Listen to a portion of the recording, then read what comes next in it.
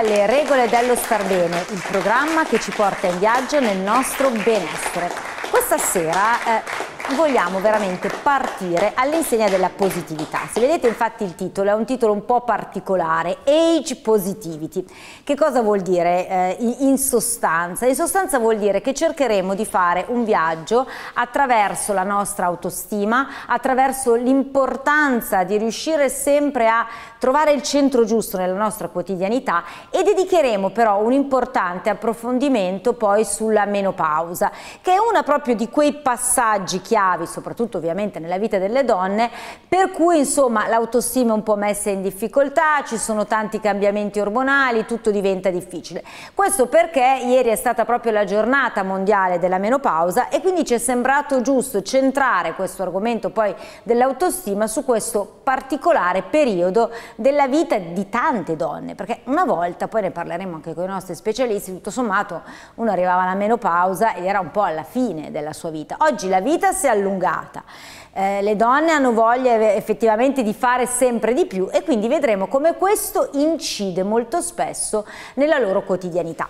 Naturalmente come sempre se volete potete telefonare in diretta se avete domande sulla menopausa, se siete uomini e avete la moglie in menopausa e quindi avete, volete capire come prenderla nel modo giusto, insomma eh, potete telefonare allo 0381 09 14 51. Come sempre abbiamo qua in studio degli specialisti che ci aiuteranno in in questo viaggio. Abbiamo qua infatti la eh, dottoressa Silvia Rigoni, ginecologa dell'ospedale civile di Vigevano, buonasera. buonasera, e la dottoressa Claudia Jasmine Marelli, psicoterapeuta del centro EOS per il benessere psichico di Pavia. Buonasera. buonasera. Allora, io direi, visto che parliamo di positivity, parliamo di autostima, Partiamo proprio un po' dalla nostra psiche perché abbiamo imparato veramente, forse ancora di più negli ultimi anni, quanto è importante la cura della nostra psiche e quanto c'è questo concetto di autostima che aleggia, eh, capire un po' che cos'è e come possiamo coltivarla, se si può coltivare questa autostima. Ma allora, l'autostima in realtà è uno di quei temi che accompagna l'essere umano da sempre.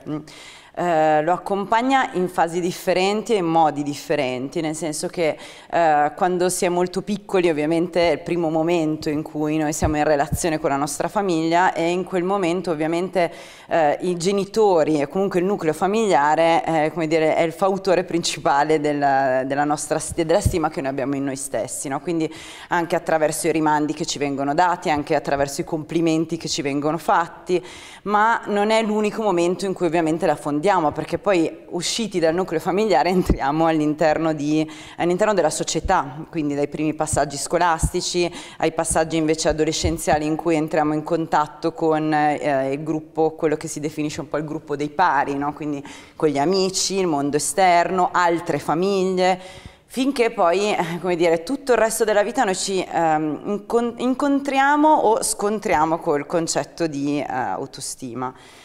Anche se eh, credo che francamente parlare di autostima ci porti in una dimensione anche un po', eh, come dire, un po' eh, performante della vita. Mm. Ad oggi la nostra idea di stima in noi stessi spesso e volentieri è legata ai nostri comportamenti, al fatto di riuscire sempre bene, al fatto di fare sempre bene, quando in realtà eh, il fare sempre bene parla di comportamenti, non parla di quello che noi siamo in quello che facciamo. Mm.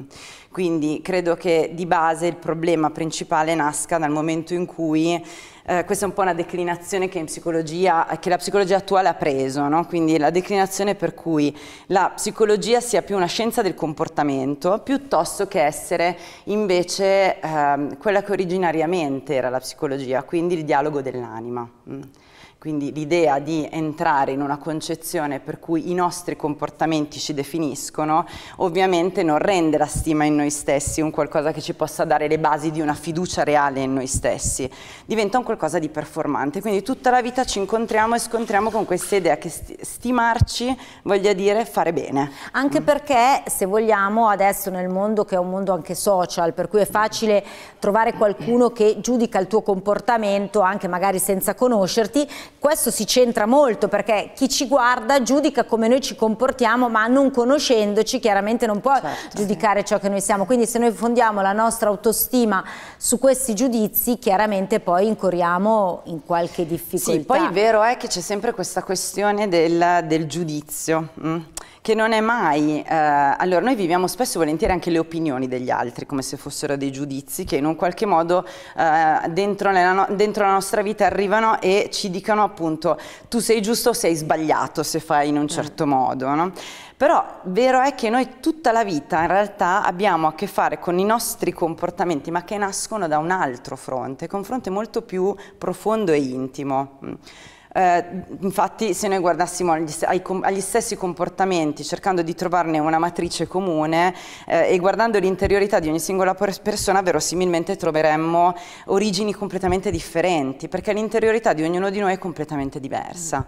Per questo che dico appunto eh, ad oggi la, guardare ai comportamenti pensando che eh, appunto la scienza della psicologia attuale eh, li possa analizzare, interpretare e aiutare a migliorare migliorare la qualità della vita di una persona, in realtà è un po' spostare il focus reale dell'attenzione. Mm.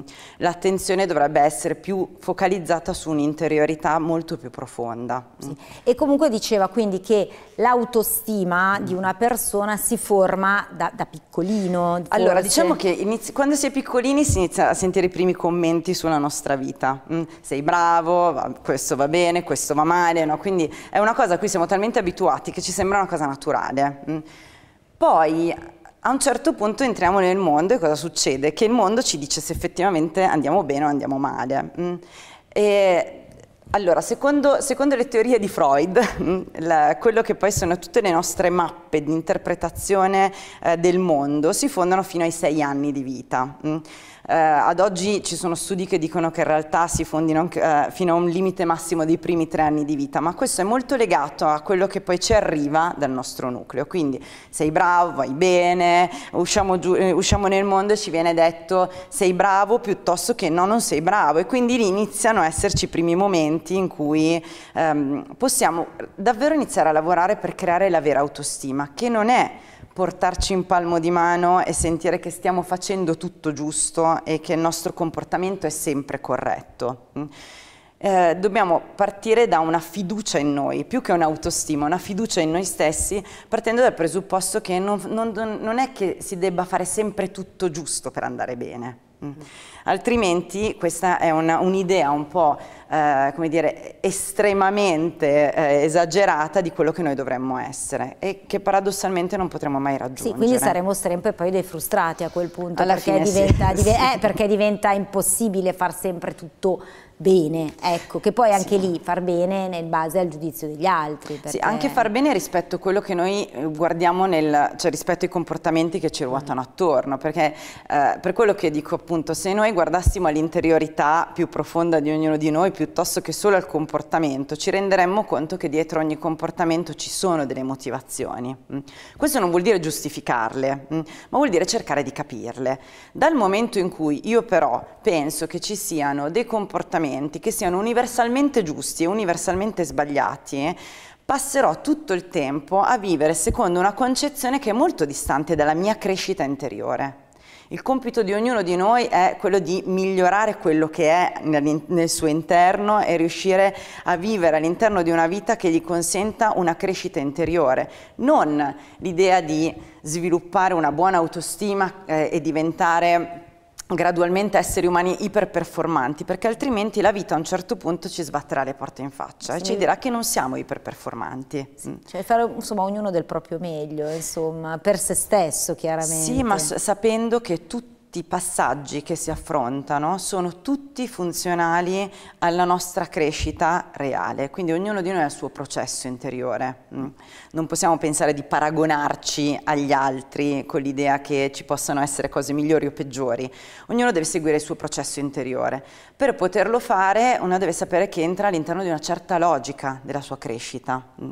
e quindi analizza i suoi comportamenti non in quanto tali, ma come specchio di un qualcosa che accade interiormente. Certo che quando noi arriviamo intorno ai 50 anni e quindi arriviamo al discorso della, della menopausa con tutti i cambiamenti ormonali che adesso vedremo, se, non, se questa cosa non l'abbiamo costruita, probabilmente questo periodo è un periodo complesso, dottoressa, da affrontare. Sì, indubbiamente è un periodo complesso perché eh, si va incontro comunque a dei cambiamenti ormonali molto, eh, molto forti che spesso le donne descrivono proprio come quasi una frammentazione della propria identità, cioè ci sono tante donne che mi dicono ehm, io mi rendo conto di non essere più quella che ero prima, loro non è che non se ne rendono conto, si rendono conto, per esempio uno dei sintomi che le donne accusano di più è proprio l'instabilità emotiva. Una delle prime cose che dicono è piango per niente, prima non ero così, eh, quindi loro se ne rendono conto, mh, sono dispiaciute anche di porsi a volte eh, in un modo mh, che poi vedono come sbagliato, no? nei confronti magari del compagno, dei figli, però non ne possono fare a meno, proprio perché sono, sono mh, soggette a queste fluttuazioni ormonali che le portano ad avere queste, questa tipologia di reazioni. Oltretutto eh, teniamo presente che nella società attuale ecco, è molto importante quello che è stato detto eh, adesso, cioè eh, la, quanto siamo performanti, quindi anche la donna eh, di fronte agli stereotipi che la società le impone si vede sempre come, ehm, si sente sempre sotto pressione, come se dovesse sempre essere performante al 100% e purtroppo in questa fase della vita invece capita di non poterlo essere e questo ovviamente genera eh, una frustrazione notevole nella, nella donna. Oltretutto teniamo presente che, eh, anche, mh, diciamo che normalmente la, la, la menopausa eh, occorre al, all'età più o meno di, di 51 anni, l'età media eh, diciamo, fisiologica in cui una donna dovrebbe entrare in menopausa è quella, ma capita purtroppo che ci siano delle situazioni in cui invece la menopausa arriva prima quindi la donna è colta, eh, è comunque impreparata ad affrontare questo, questo momento di cambiamento così precocemente. Le cause possono essere molteplici, ci può essere per esempio un'insufficienza ovarica eh, primitiva, mh, senza quindi una, una, causa apparente, semplicemente l'ovaio a un certo punto ha meno follico, inizia a funzionare meno e quindi già magari a 38-40 anni la donna comunque va in menopausa anticipata. E non dimentichiamo che sono sempre di più anche i casi in cui eh, la donna deve andare in una menopausa iatrogena, comunque indotta, per esempio tra i 40 e i 50 anni ci sono tante donne che purtroppo vanno incontro a una diagnosi di carcinoma della mammella, che sappiamo purtroppo essere un argomento molto attuale, e che devono affrontare delle, comunque delle, delle terapie ormonali che le mandano in menopausa eh, precoce, perché comunque eh, per impedire la progressione o la recidiva di un tumore eh, mammario dobbiamo stoppare il funzionamento ovarico, che se no andrebbe a costituire comunque un bombardamento a livello mammario mm -hmm. eccessivo eccessivo.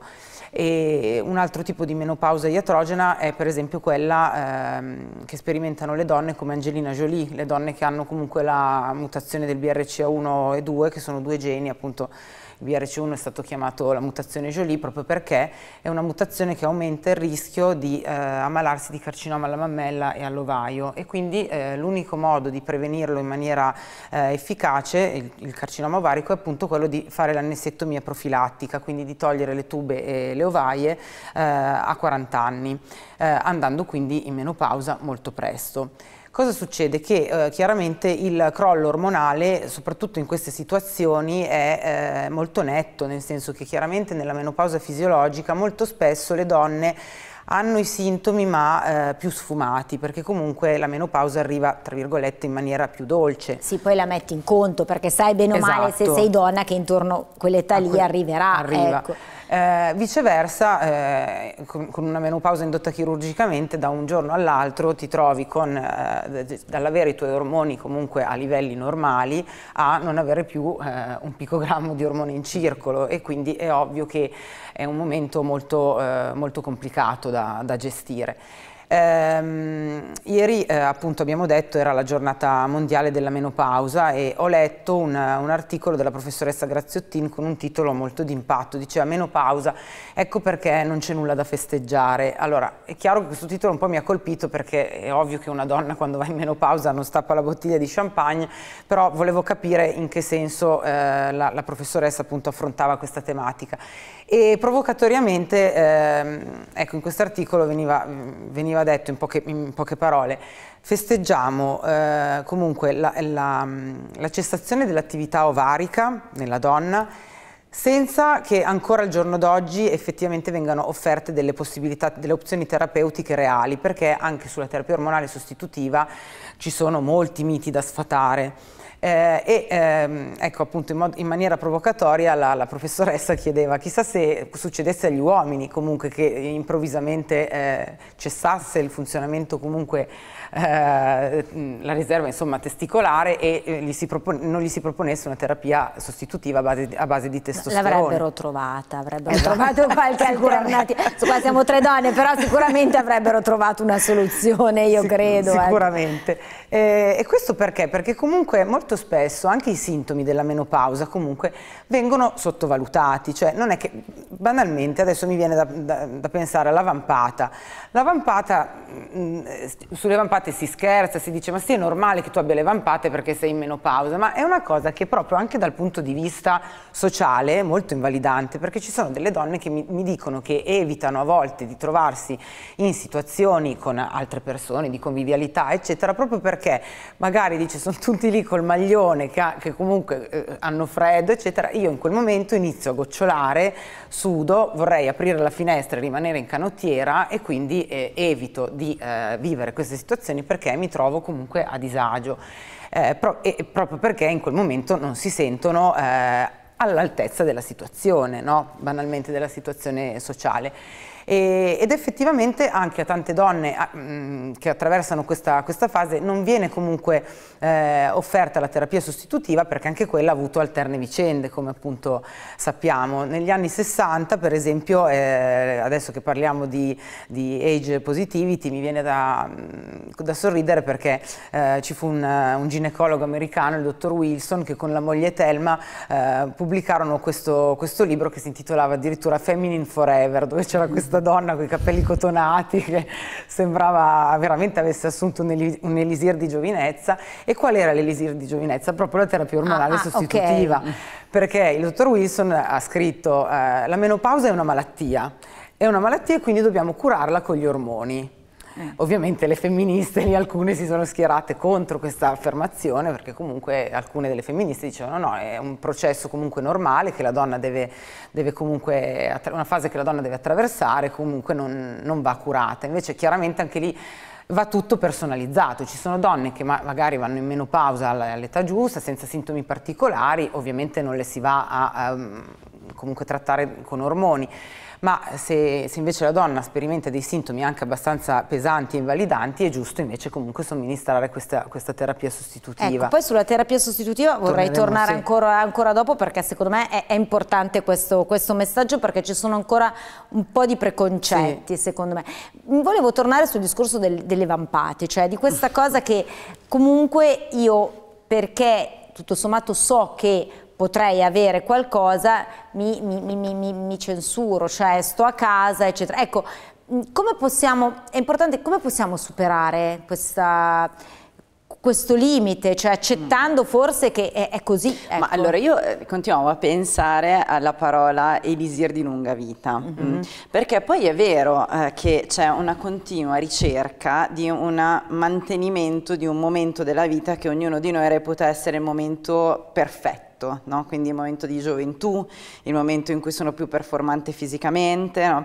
per cui l'idea proprio di uscire un po' da questo concetto passa proprio dal, dal fatto di dire ok però perché io devo, devo, avere un elisir che mi mantenga giovane, no? che mi mantenga performante, no? perché non riesco a tollerare che in una qualche maniera il mio corpo sì, abbia anche delle menomazioni, no? cioè piuttosto sì. che perda comunque del, degli aspetti anche performanti. E io credo che il fatto proprio di vivere una condizione di disagio nasca anche dal, dall'idea l'idea che poi non ci sia una reale condivisione da parte del mondo femminile di quelle che poi possono essere anche davvero del, dei, dei, dire, delle situazioni anche un po' più spiacevoli di alcuni, di alcuni momenti della vita.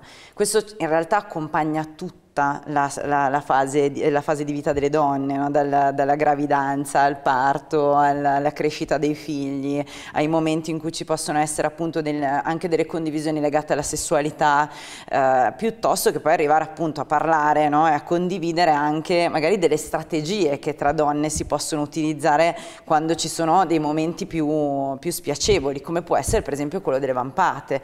Eh, è vero che la condivisione rende tutto un pochino più gestibile, un pochino più vivibile. Però io torno al discorso per cui quando si parla di autostima si parla di un qualcosa di molto individuale. Mm?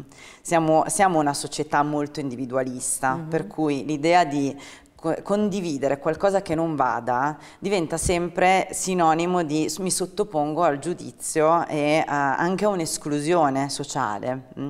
Piuttosto che invece rendersi conto che noi siamo parte di un sistema, siamo parte di un qualcosa di molto più grande di noi, quindi l'idea della condivisione diventa invece il modo per uh, smorzare alcuni vissuti più spiacevoli e trovare anche proprio dei modi di, di gestire alcuni, uh, alcuni, contesti più, anche come dire, fisicamente più compromettenti. Certo. Mm. Io credo che lei abbia toccato due punti fondamentali. Uno appunto è questo della condivisione che comunque è difficile perché veramente è un contrasto, cioè da un lato c'è questa necessità giustamente di condividere con altri difficoltà, dall'altro c'è proprio invece il mondo che ti vuole perfetto e quindi c'è anche, anche, gli altri sostanzialmente. E poi il fatto del condividere con le donne perché questo eh, abbiamo prima riso pensando che se fosse stato un difetto maschile l'avrebbero risolto sì. ma perché loro avrebbero probabilmente condiviso questa cosa e l'avrebbero tra donne secondo si me fa poca accordata tra donne ci fa sì, poca accordata esatto. e anzi se una l'ha vampata come idea la si addita, cioè non, non, non, purtroppo c'è questa difficoltà che probabilmente è congenita. Ma allora so. io credo che il problema sia che quando abbiamo qualcuno che ci dice qualcosa che in un qualche modo prima o poi toccherà anche noi, cerchiamo di tenere il più distante possibile il tema. Ah, mm. ok. E quindi diventa anche complicato, no? perché se io magari sento parlare qualcuno di vampate eh, piuttosto che anche di secchezze, no? mm -hmm. perché poi c'è anche un problema di eh, performance sessuali, no? per cui io sento che l'altra persona mi sta portando una realtà che sarà una realtà che io dovrò poi vivere, ma che è fatta di appunto di menomazioni, perché io mi sento meno donna, mi sento meno eh, avvenente, meno interessante, quindi è ovvio che tutto questo perché noi comunque spostiamo molto, eh, riprendo un po' il discorso di prima, spostiamo molto eh, la, la fiducia che noi abbiamo in noi stessi e la nostra evoluzione interiore la spostiamo all'interno di comportamenti performance, capacità capacità, abilità e quindi questo ci distoglie anche dal fatto di poter vivere per esempio una sessualità più matura, vivere anche il fatto che sì, ci possono essere dire, le, uh, le, caldane, no? appunto queste vampate no? raccontate poi dalle donne, ma che sono spiacevoli quanto possono essere spiacevoli i dolori mestruali, ma i dolori mestruali invece nascono in un'epoca invece in cui siamo più fertili, siamo in un'epoca in cui ci sentiamo ancora avvenenti, piacenti e quindi... Anzi, il dolore mestruale dice bene che è il dolore mestruale perché vuol dire che comunque almeno questo si, si, sente a volte in certe affermazioni se è una donna comunque vuol dire ancora fertile mentre sei la vampata vabbè rassegnati cioè, ormai ecco, nella foto. Eh, il, mondo, il, mondo, femminile ha una difficoltà nella condivisione dei problemi. Eh. però io credo che sia proprio legato al fatto che eh, nel momento in cui condivido un problema mi mostro inadeguata Mm, mm, sì. E il vissuto della donna è tendenzialmente un vissuto in cui c'è il tentati tentativo costante di mostrarsi adeguate. Mm. Quindi io non posso sbugiardarmi così manifestando una mia inadeguatezza in maniera così plateale. Quindi devo cercare di camuffare, diciamo, il più possibile tutte le cose che non vanno, anche cercando di celarle a fronte di cose che in realtà magari esalto proprio come eh, mie competenze, mie capacità. Eh, questa è, è un'analisi su cui vi invito a riflettere, perché secondo me c'entra il punto eh, di tante problematiche proprio nella, eh, nella capacità delle donne di, di, di, di condividere, di, accettare, fare, di avere autostima. E quindi direi andiamo un attimino in pubblicità e poi torniamo qua alle regole dello star bene.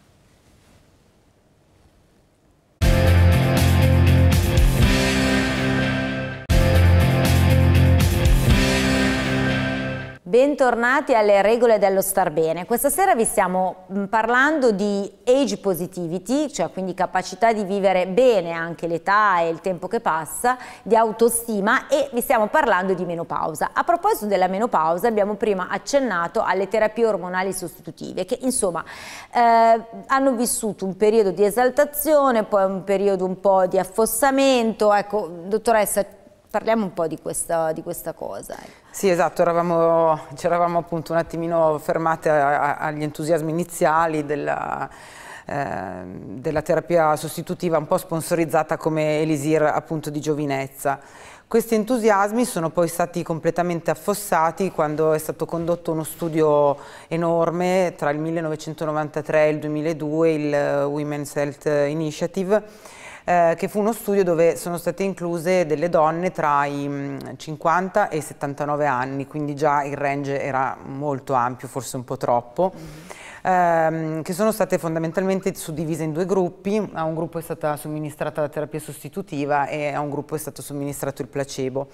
Questo studio è stato addirittura interrotto a un certo punto perché eh, si sono osservati degli effetti collaterali importanti un aumentato rischio di carcinoma della mammella eh, e anche un aumentato rischio di eventi tromboembolici eh, e comunque anche accidenti cardiovascolari, comunque infarti, ictus e quant'altro. Quindi a questo punto sia le donne che i ginecologi eh, sono rimasti spiazzati. Ferma tutto. Ovviamente, quindi da eh, tutte le donne che volevano prendere la terapia sostitutiva a invece stop, non la prendiamo più, quindi o l'hanno autosospesa o anche gli stessi ginecologi hanno alzato le mani e hanno detto no, aspetta un attimo, interrompila.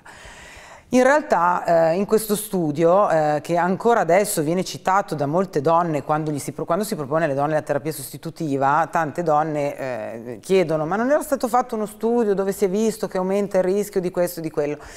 Allora, in realtà poi gli stessi ehm, autori che hanno condotto questo studio hanno poi rivisto i dati e si è capito che lo studio era inficiato da moltissimi fattori eh, confondenti. Primo fra tutti l'età delle donne perché si è visto che la terapia ormonale sostitutiva eh, ha ehm, diciamo, la sua efficacia e soprattutto eh, i benefici superano i rischi se viene iniziata in quella che viene definita eh, finestra d'opportunità. La finestra d'opportunità terapeutica eh, è quella ehm, che eh, stabilisce che la terapia ormonale sostitutiva deve essere iniziata entro i 10 anni dalla menopausa. Se noi la iniziamo dopo questi 10 anni o comunque nelle donne al di sopra dei, dei 60 anni, chiaramente eh, il, il, il, rischio va a superare gli effetti benefici. Certo. Se noi pensiamo per esempio a, al fatto che la donna nel periodo fertile eh, sappiamo bene che è protetta rispetto all'uomo dagli incidenti cardiovascolari. Invece in menopausa eh, praticamente il rischio diventa pari a quello degli uomini perché col crollo degli estrogeni e del progesterone il rischio praticamente va a eh, equipararsi a quello dell'uomo. In questo la terapia ormonale sostitutiva è un grossissimo aiuto, perché questi tabù che ci sono sulla terapia sostitutiva è come se noi dicessimo a un, uh, un paziente sottoposto a tiroidectomia non ti diamo la levotiroxina o a un diabetico insulino dipendente non ti somministriamo l'insulina. Cioè alla fine se comunque l'ovaio smette di funzionare, dare comunque degli ormoni è un aiuto. Chiaramente ci sono controindicazioni, ma le indicazioni comunque sono, eh, sono molto forti, soprattutto perché comunque ehm, nella donna che va in menopausa eh, si osservano degli effetti collaterali eh, importanti, eh, non solo legati al crollo degli estrogeni e del progesterone, ma anche alla diminuzione del testosterone, che può sembrare una cosa strana perché spesso il testosterone viene comunque associato all'uomo. Certo. Invece nella donna in realtà il testosterone ha un ruolo importantissimo innanzitutto nella, sul sistema nervoso centrale, perché è un, è un, protettore molto importante delle guaine mieliniche e, e proprio anche della materia grigia. Eh, e poi ovviamente il, il, testosterone è quello che nella donna eh, dal punto di vista sessuale eh, va a guidare per esempio le, le, fantasie sessuali, la libido e anche un po' quel, quel grado di, eh, così, di aggressività che nel, nella sfera sessuale ci, ci sta, sta, ci sta, esatto. Uh, quindi comunque è importante da non sottovalutare anche questo, questo aspetto quindi legato se, alla sessualità. Se vostra moglie è in menopausa, è un pochino meno calorosa è perché è, è, crollato il testosterone e non è una battuta, ecco, no, come esatto. diceva lei uno pensa effettivamente che sia solo maschile, in realtà c'è questa problematica.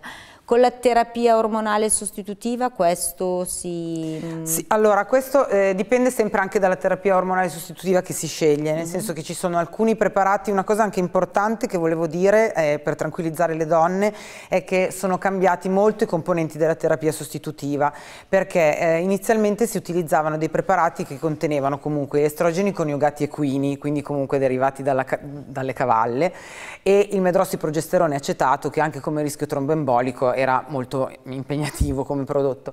Attualmente stanno fortunatamente uscendo sempre più prodotti eh, che contengono mh, eh, gli ormoni bioidentici, cioè più simili possibili a quelli naturali mm -hmm. e quindi eh, l'estradiolo e il progesterone micronizzato. Quindi da questo punto di vista somministriamo ormoni sempre più simili a quelli eh, endogeni, a quelli naturali e ehm, nella donna che in particolare accusa sintomi legati alla sfera genitourinaria e appunto al calo del desiderio sessuale eh, si preferisce invece un, um, un diciamo, prodotto che addirittura eh, non è né un estrogeno né un progestinico ma addirittura è uno steroide anche parzialmente anabolizzante. Quindi aiuta eh, sia comunque al, a recuperare la, la propria performance sessuale dà un maggiore trofismo anche alle mucose genitali genitali e, eh, e, anche comunque ha un effetto positivo anche sulla massa ossea e sembra avere anche un minore impatto in termini di rischio di carcinoma della mammella.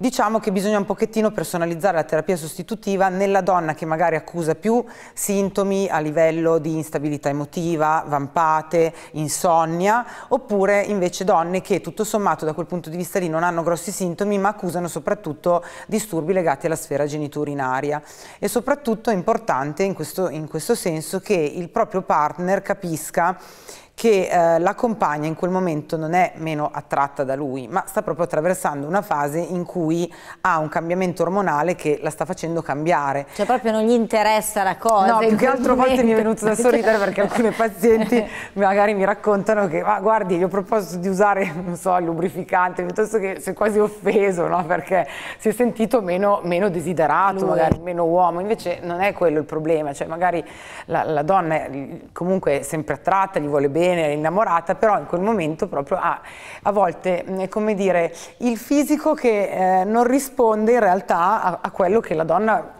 vorrebbe fare, proprio perché eh, ci sono stati questi cambiamenti ormonali che, che, sono successi e che pian piano bisogna metabolizzare sia la donna che anche il proprio partner. Ecco, metabolizzare il cambiamento, dottoressa, mm. cioè è, quanto è facile, quanto è invece difficile, quanto va poi a giocare anche nella sfera del rapporto di coppia, perché chiaramente poi io mi immagino che sia una coppia nella normalità in cui anche l'uomo comincia a non essere più un fanciullo, quindi probabilmente, eh, cioè, ecco, in che modo possiamo dare un consiglio a chi ci sta seguendo per gestire questo, questo momento, che è un momento di cambiamento e, e, che però bisogna insomma affrontare. Allora, I cambiamenti in realtà li abbiamo tutti i giorni della nostra vita, cioè eh, basti pensare per, appunto a, a tut, tutte le modificazioni che abbiamo anche solo fisicamente mh, mm, e dobbiamo pensare che appunto queste accadano anche dal punto di vista psichico, per cui noi siamo in costante evoluzione. Mh.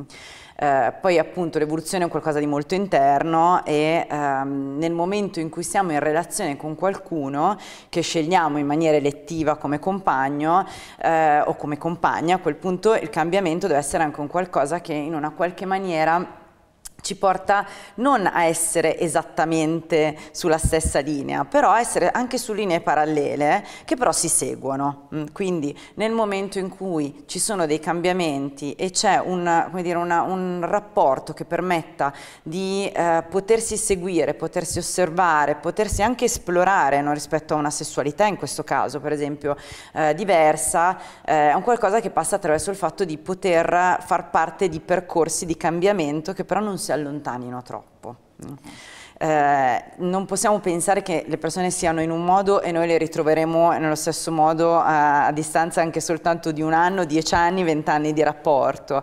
E cambia il nostro corpo, cambia il nostro assetto interno, per cui nel momento in cui siamo in relazione con qualcuno, la cosa fondamentale è appunto sicuramente poi nella psicologia viene molto accentuata questa cosa, la comunicazione, che non passa attraverso solo la comunicazione legata al parliamo di me e di te, punto, ma parliamo anche di quello che per esempio nel nostro corpo sta cambiando, di quello che noi percepiamo come differente, anche perché eh, vabbè, il tema della sessualità accompagna eh, tutti da quando si è anche bambini, eh, perché le prime masturbazioni i bambini le hanno addirittura nel pannolino, per cui figuriamoci no, quanto poi in realtà ci accompagni sempre. E sicuramente si è un po' nell'ottica per cui a un certo punto entrati in, in menopausa piuttosto che quando iniziano ad esserci i primi problemi di erezione per l'uomo, allora la sessualità diventa un qualcosa che gradualmente dobbiamo archiviare, quando in realtà non è così. Eh, sicuramente c'è una sessualità più matura. Prima si parlava di fantasie sessuali e le fantasie sessuali sono qualcosa che appartiene a chiunque, no? la, mi appartiene una fantasia, ma il discorso è quanto questa è libera di esistere all'interno del mio rapporto di coppia, per esempio. No? non perché uno per forza le debba condividere verbalmente, ma anche soltanto poterle vivere, perché poi eh, alla base anche di quella che è l'eccitazione che si prova ci sono sicuramente tutti anche i pensieri che si fanno. Mm? Quindi non dobbiamo partire dal presupposto che, mm, ok, allora la persona, che, la persona, che, guardo è una persona che vedo decadere, è una persona con cui io sviluppo una, una sessualità sempre più complessa. Mm siamo sempre in evoluzione anche dal punto di vista sessuale. Mm. Paradossalmente ci sono sessualità molto più appaganti eh, in età più avanzate rispetto a quando si ha 20 anni, in cui invece non si ha ancora bene idea di che cosa, eh, cosa fare, come farlo, si ha bisogno di, di, qualcuno che in un qualche modo ci introduca in una sessualità più appagante. E quindi accettare anche questo momento proprio di, di cambiamento e viverlo insieme. Ecco. Sì, infatti quello che si diceva prima, per esempio l'idea no, di usare degli elementi che possono aiutare, per esempio la lubrificazione della donna, perché no, voglio dire, no? Eh, si usano anche nel momento in cui ci sono dei giochi esatto. in altre mm. epoche mm. in cui non ci sono problemi di performance, per cui non, perché non utilizzarli quando invece eh, questo può essere un elemento che in un qualche modo vada a coadiuvare una relazione un pochino più serena anche per la donna che magari autonomamente rie fa, non riesce più a produrre una certa lubrificazione. Per cui io credo che l'idea del, della sessualità eh, sia un qualcosa su cui noi abbiamo molti preconcetti, creati tanto dalla comunicazione mediatica, e poca conoscenza reale. Mm. La conoscenza reale fa sì che poi entriamo all'interno di questa dimensione anche con maggiore libertà. Mm. Certo. Ad oggi non è così. Certo, mm. e, e, quindi, e, quindi, dicevamo, quindi c'è anche un discorso di coppia, ma anche fisicamente c'è questo sì, discorso? Sì, io addirittura ero, avevo partecipato a un, a un, congresso che aveva un titolo particolare, si intitolava Couple Pose, proprio nel senso di vedere questa, questa fase della vita eh, come una tra virgolette menopausa di coppia, no? quindi come eh, un momento in realtà da affrontare, secondo me la menopausa non deve essere vista come eh, una nemica da, eh, quasi una nemica da sconfiggere, perché prendendola così è chiaro che la si vive male. Perché se io voglio vivere la sessualità o le emozioni, la mia vita come eh, la vivevo quando non, non, ero magari in un'altra fase della mia vita, non, non, potrò mai viverla in quel modo perché non, non, è più il momento per viverla come quando magari certo. avevo 30 anni, 20 anni.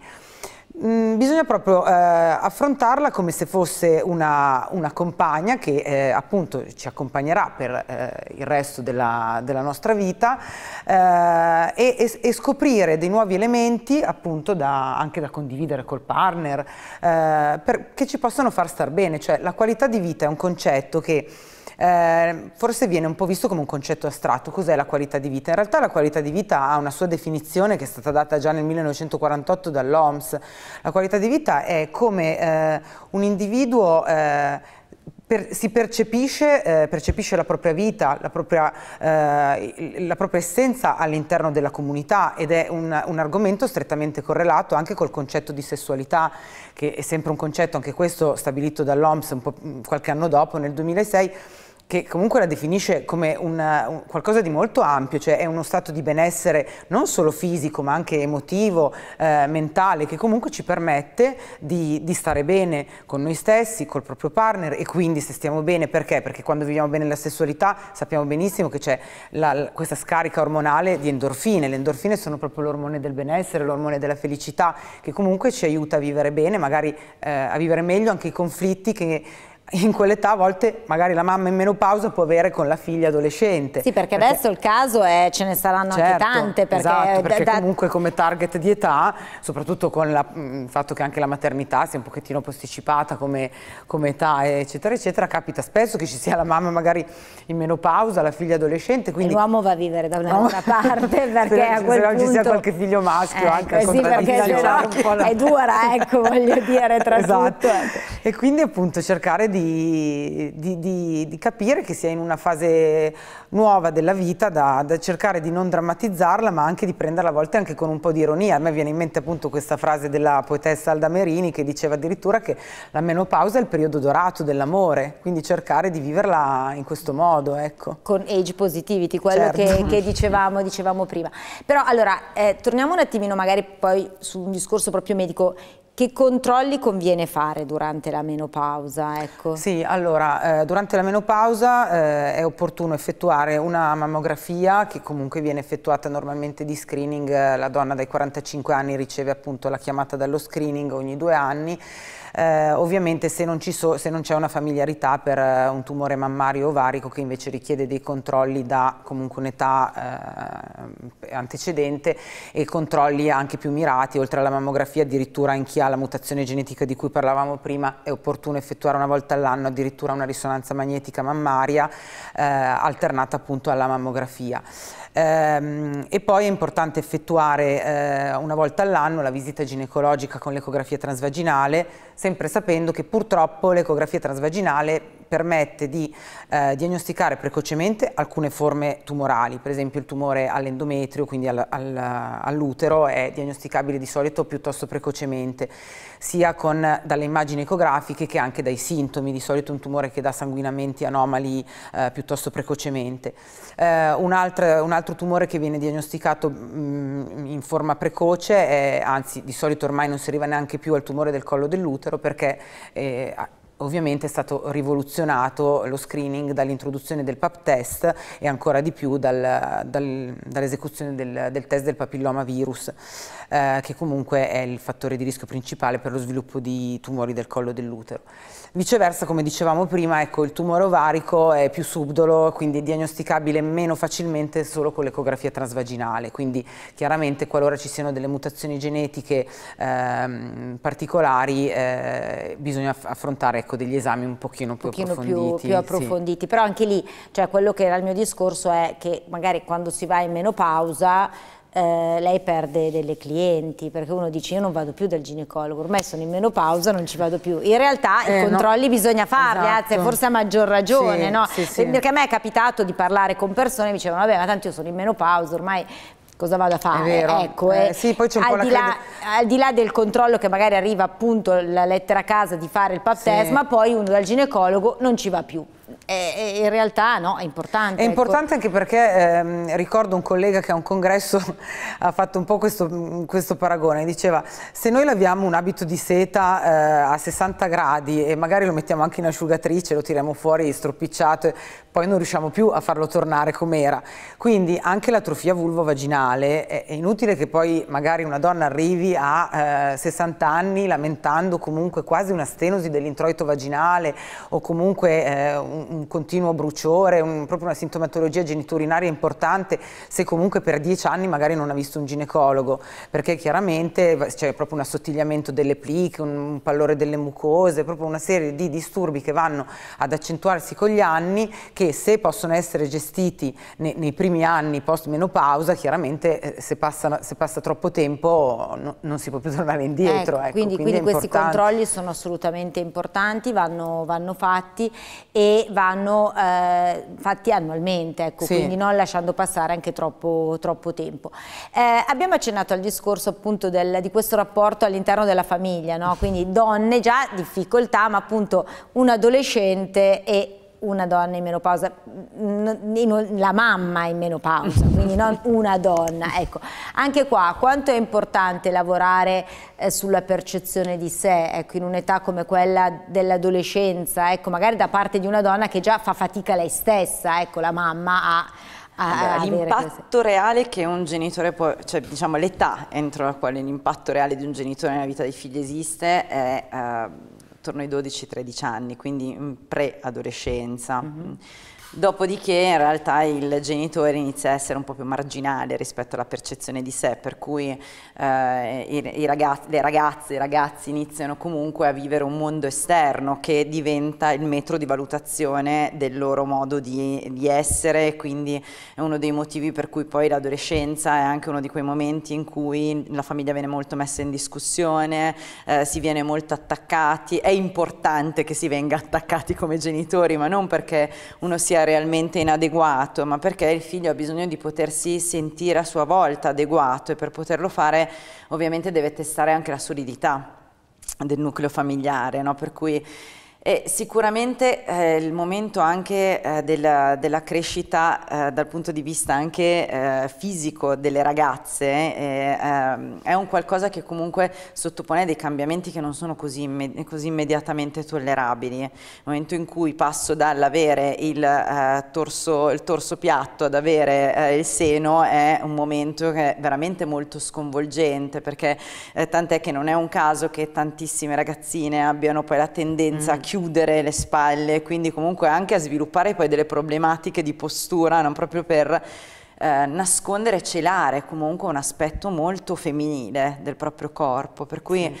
eh, diventa, mh, mm, diciamo che eh, c'è una, una, una, femminilità in, in ascesa e una che nella nostra società viene vista come decadente punto che è quella di una donna che si trova in menopausa, no? perché eh, davvero è come se uno uscisse dai giochi in quel momento, per cui questo diventa un elemento che credo che crei soprattutto nelle mamme che vivono una situazione del genere una grande difficoltà anche rispetto alla propria femminilità, cioè è un momento in cui magari le ragazze hanno bisogno di sentir parlare di femminilità e anche avere degli insegnamenti rispetto a come gestire alcuni aspetti del proprio corpo e però le, se la mamma inizia la menopausa è anche un, un qualcosa di molto complesso, non è così semplice parlare eh, di un qualcosa che io sto perdendo in quel momento. Sì, perché comunque siamo persone, cioè quelli sono, sono i nostri figli, ma io vedo in lei la fase ascendente, la mia, ascendente, la mia fase calante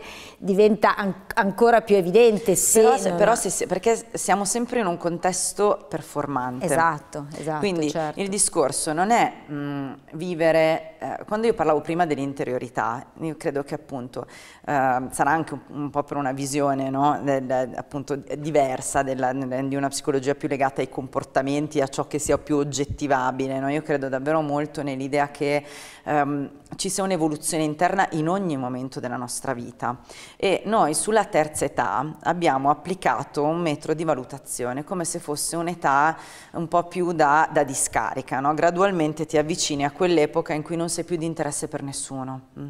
dalla sessualità a quello che tu hai da raccontare, al tuo modo di relazionarti alla vita, no? non sei più efficiente, non mi interessi più, non sei più performante, non mi interessi più, quando in realtà per esempio le società tradizionali ci insegnano molto dell'importanza della figura dell'anziano. Mm. L'anziano diventa una mm. figura meritevole di un enorme rispetto no? e eh, non diventa peraltro una figura che esca eh, da, dall'aspetto della sessualità, no? anzi ci sono sessualità che vengono vissute in maniera molto matura e anche molto più libera. Mm.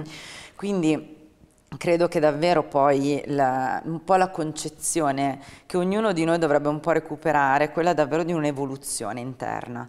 Se io ho la sensazione di crescere eh, emotivamente, ma anche spiritualmente come persona, ho la sensazione che il tempo non sia una cosa che mi stia togliendo, ma sia un qualcosa che sì, non mi dia più quelle performance che sono, è spiacevole perdere, inutile che stiamo qua a dire che è bello diventare, so, eh, più vecchi, no? cioè non, non è bello di per sé però è anche vero che se inizio a entrare in un'ottica differente è un qualcosa che mi sta dando, mi sta dando altro. Sì, mm. che mm, tutto sommato il tempo che passa, avere una age positivity vuol dire che il tempo che passa tutto sommato mi sta facendo sempre crescere, cioè io continuo evolvo. a crescere, evolvo, evolvo, Io evolvo interiormente e mh, mm, se ho questa visione e vengo visto anche dal, dalla società che mi ruota attorno come una risorsa, mh, non sono più una risorsa in quanto essere umano performante, ma appartengo, mm, che è un'altra delle, delle, parole che io credo che davvero non, stiano un po' uscendo dal vocabolario relazionale, il senso di appartenenza. Abbiamo